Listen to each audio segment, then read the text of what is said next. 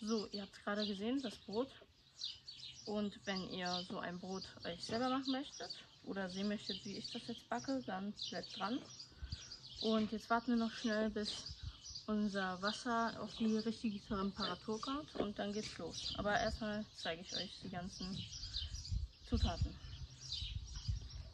Also wie versprochen, man braucht nur fünf Zutaten. Das Öl, das steht hier nur so, das gehört nicht dazu.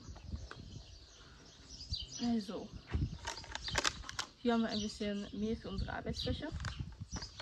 Dann haben wir 580 Gramm Mehl für das Brot, eine Schüssel und einen Teelöffel Salz. Ist eingeflogen. So. Ein Teelöffel Salz. Und nicht zu vergessen, brauchen wir auch noch 540 Milliliter Wasser. Und dieses Wasser sollte die Temperatur zwischen 52 und 55 Grad, äh, ja, Grad haben. Habe ich gelesen, so zumindest im Internet. Wir wollen ganz einfaches Brot machen, so wie ihr es gerade gesehen habt im Intro. Und ja, jetzt hat unser Wasser gerade 82 Grad. Wir warten, bis es auf 55 oder 53 so runter ist. Gleich. So, das Wasser hat jetzt die benötigte Temperatur erreicht. Ja. Jetzt nehmen wir Mehl und verteilen das auf unserer Fläche.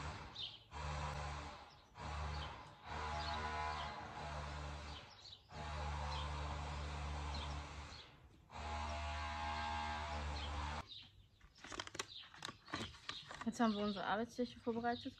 Nun kommt in die Schüssel das Mehl.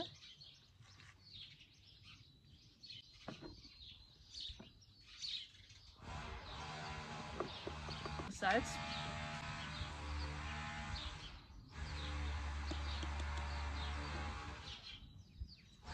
Und das Wasser.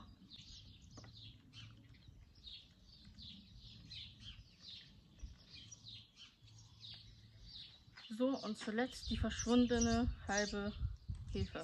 Ein halber Hefewürfel. So, den packen wir aus. Teilen ihn in zwei. Das runtergefallen, nehmen wir die andere Hälfte.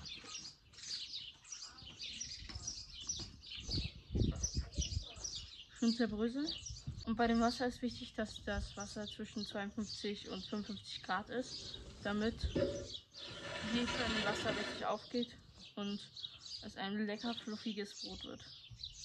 So, jetzt haben wir das Ganze zerbröselt. Hier noch ein bisschen so. Die Hefe packen wir jetzt zur Seite wieder. So. Jetzt hole ich mir einen Rührstab und dann gehe ich das Ganze durch. So, hier ist der Rührbesen und jetzt geht's los.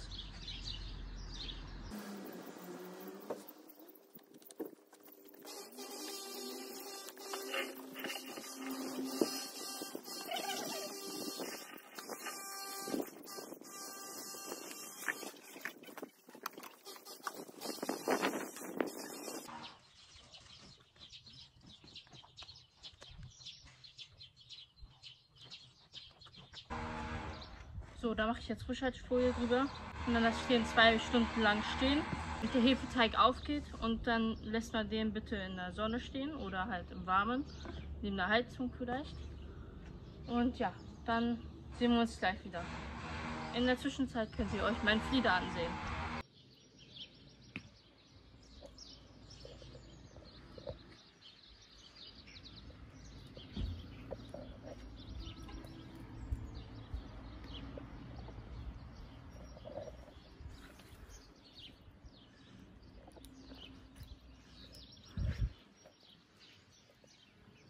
So wie ich schon sagte, man sollte ähm, anderthalb bis zwei Stunden warten, bis der Teig aufgegangen ist. Jetzt breiten wir den Teig da auf der Platte auf und dann machen wir den fertig. So, jetzt kommt der Teig hier rauf.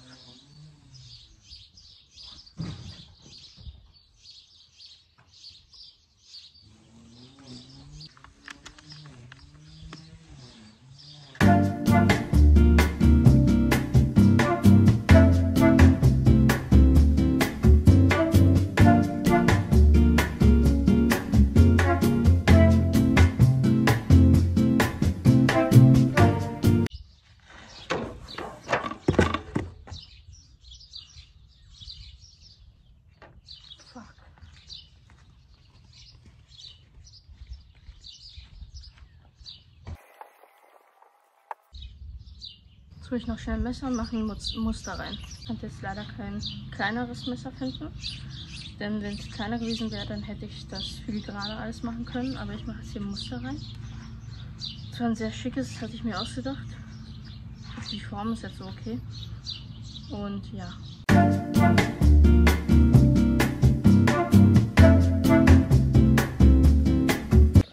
So, hier sollte das so ein Blumenmuster werden.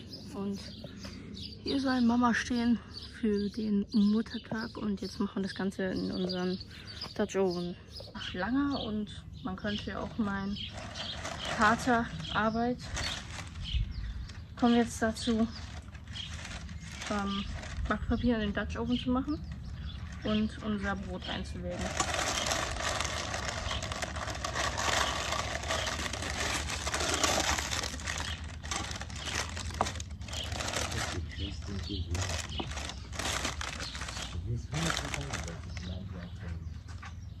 Nehmen wir das Brot, heben es vorsichtig an.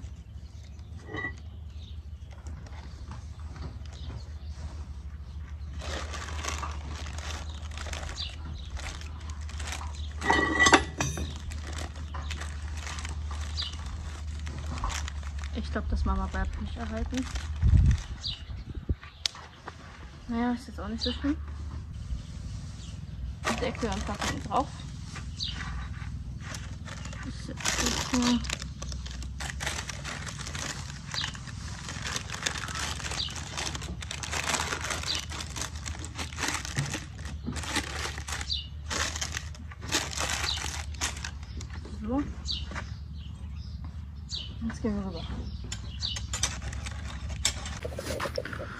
Så.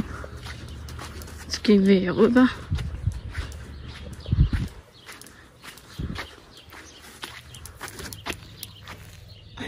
Reinstellen. Ist noch schön warm, weil ich vorhin noch ein Feuer gemacht hatte.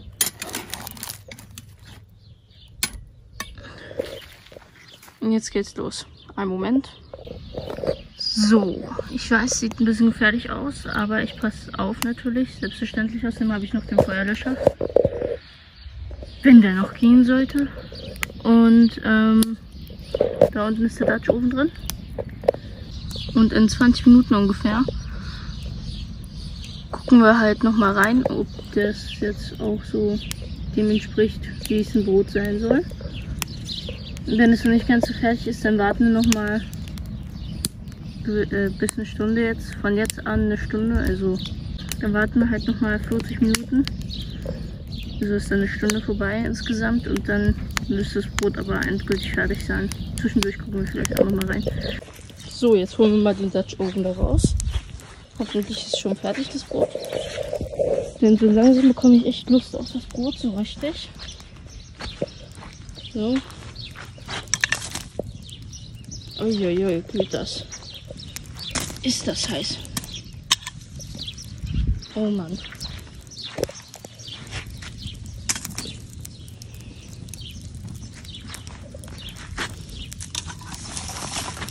Nein!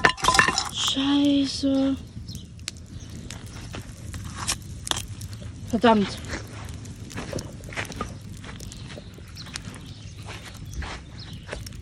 Scheiße. Also eins kann man schon mal sagen. Eine harte Kruste hat das Brot. Ja. Okay. Ich würde sagen, wir lassen das Brot kurz abkühlen, dann gucken wir, ob wir das Schwarze abkriegen. Oder ob es total verkohlt ist, weil ich habe hier mal reingestochen und es sieht so aus, als wenn es eigentlich ganz gut aussieht. Nur halt ein bisschen blöd, dass da so viel Schwarz jetzt verkohlt drauf ist. Kriegen das schon hin. Tja, das war ein totaler Reinfall. Die Temperatur des Brotes beträgt 71 Grad. Es ist noch überhaupt nicht durch innen drin. Aber außen total verkohlt. Und ja, das können wir jetzt auch lassen. Das Backpapier hat sich hier auch festgebrannt. Wenn jemand Tipps hat, wie man sich richtig Brot macht selber, dann schreibt es in die Kommentare. Ich will auf jeden Fall einen zweiten Versuch wagen. Aber nicht so. Das muss nochmal anders laufen. Jetzt muss ich mir doch ein anderes Muttertagsgeschenk suchen. Aber kein Problem, ich habe viele Ideen. Also bis dann. Ciao.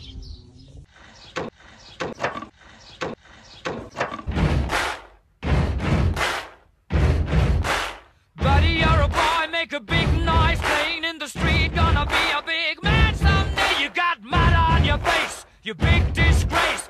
Kicking your can all over the place, singing, We will,